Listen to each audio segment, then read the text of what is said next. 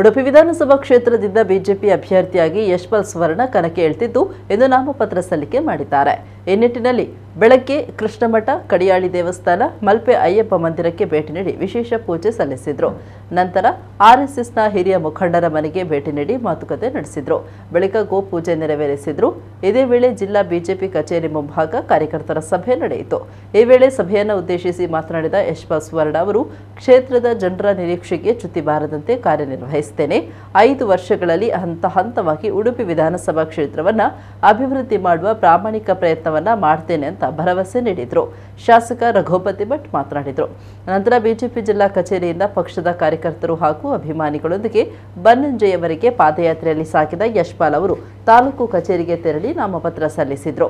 ಈ ಸಂದರ್ಭ ಸಚಿವ ವಿ. ಸುನಿಲ್ ಕುಮಾರ್, ಬಿಜೆಪಿ ಉಡುಪಿ ಜಿಲ್ಲಾಧ್ಯಕ್ಷ ಕೊಯ್ಲಾಡಿ ಸುರೇಶ್ ನಾಯ್ಕ್, ಮಾಜಿ ಸಚಿವ ಪ್ರಮೋದ್ ಮಧ್ವರಾಜ್, ಶಾಸಕ ಲಾಲಾಜಿ ಹರ್ಮೆಂಡನ್, ಮುಖಂಡರಾದ ಮಟ್ಟಾರ್ ರತ್ನಾಕರ್ ಹೆಗಡೆ ಕಾಪು ಕ್ಷೇತ್ರದ ಅಭ್ಯರ್ಥಿ ಸುರೇಶ್ ಶೆಟ್ಟಿ ಗೊರ್ಮೆ ಸೇರಿದಂತೆ ಪಕ್ಷದ ಇತರ ಪ್ರಮುಖರು ಕಾರ್ಯಕರ್ತರು ಅಭಿಮಾನಿಗಳು ಪಾಲ್ಗೊಂಡಿದ್ರು ಹೋರಾಟ ಎಲ್ ಸುವರ್ಣರವರು ನಿಕಟ ಸ್ನೇಹಿ ಕ್ಷೇತ್ರವನ್ನು ಅಭಿವೃದ್ಧಿ ಪಥದಲ್ಲಿ ದೇಶ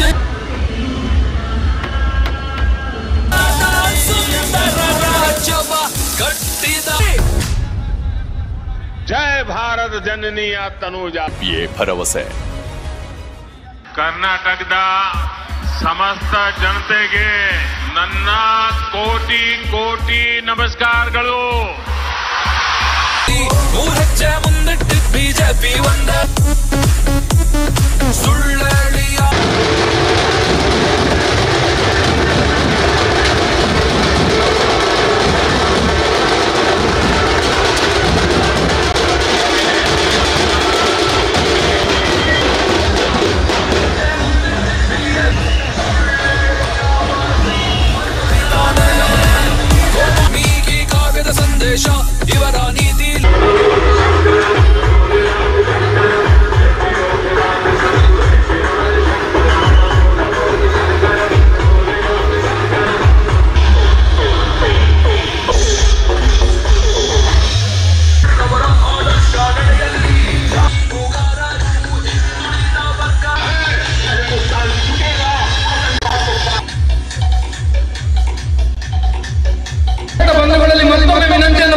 ಒಂದು ಕ್ಷೇತ್ರದಲ್ಲೂ ತನ್ನನ್ನು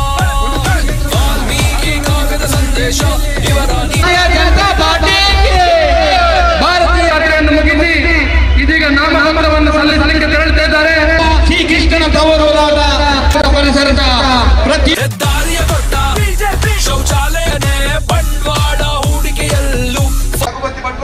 ಕಳೆದ ಐದು ವರ್ಷದಿಂದ ತಾವೆಲ್ಲರೂ ನಾವೆಲ್ಲರೂ ಅವರಿಗೆ ಒಂದು ಆಶೀರ್ವಾದ ರೀತಿಯಲ್ಲಿ ಮತ ನೀಡಿ ಅವರನ್ನು ಗೆಲ್ಲಿಸಿ ಅವರನ್ನು ಈ ಒಂದು ಊರಿನ ಅಭಿವೃದ್ಧಿಗೆ ಅವರನ್ನು ತೊಡಗಿಸಿಕೊಂಡಿದ್ದೀರಿ. ಬಹುಶಃ ರಘುಪತಿ ಭಟ್ರವರು ಕೂಡ ಆ ಐದು ವರ್ಷದ ಅವಧಿಯಲ್ಲಿ ನಾವು ಯಾವ ರೀತಿ ಅವರ ಮೇಲೆ ವಿಶ್ವಾಸ ಇಟ್ಕೊಂಡು ಅವರಿಗೆ ಆಶೀರ್ವಾದ ಮಾಡಿದ್ರೆ ಖಂಡಿತವಾಗಿ ನಿಮ್ಮ ವಿಶ್ವಾಸಕ್ಕೆ ಚ್ಯುತಿ ಬರದ ರೀತಿಯಲ್ಲಿ ಪ್ರಾಮಾಣಿಕವಾಗಿ ಐದು ಐದು ವರ್ಷದಲ್ಲಿ ಹಂತ ಹಂತವಾಗಿ ಇಡೀ ಉಡುಪಿ ಉಡುಪಿ ಉಡುಪಿ ಕ್ಷೇತ್ರವನ್ನು ಒಂದು ಒಂದೇ ರೀತಿಯ ಮೂರು ಸಾವಿರ ಕೋಟಿ ಮಿಕ್ಕಿದ ಅನುದಾನವನ್ನು ತರುವ ಮೂಲಕ ಇವತ್ತು ರಾಜ್ಯದಲ್ಲೇ ಒಂದು ಮಾದರಿ ಕ್ಷೇತ್ರವನ್ನು ಮಾಡುವಲ್ಲಿ ಇವತ್ತು ರಘುಪತಿ ಭಟ್ ಯಶಸ್ವಿಯಾಗಿದ್ದಾರೆ ಖಂಡಿತವಾಗಿ ಈ ಸಂದರ್ಭದಲ್ಲಿ ರಘುಪತಿ ಭಟ್ ಅವರ ಸಾಧನೆಗೆ ಸಮಸ್ತ ಕಾರ್ಯಕರ್ತರ ಪರವಾಗಿ ನಾನು ವಿಶೇಷವಾದ ಅಭಿನಂದನೆ ಕೂಡ ಈ ಸಂದರ್ಭದಲ್ಲಿ ಸಲ್ಲಿಸುತ್ತಾ ಬಹುಶಃ ರಘುಪತಿ ಭಟ್ ಅವರು ಮಾತು ಹೇಳಿದ್ರು.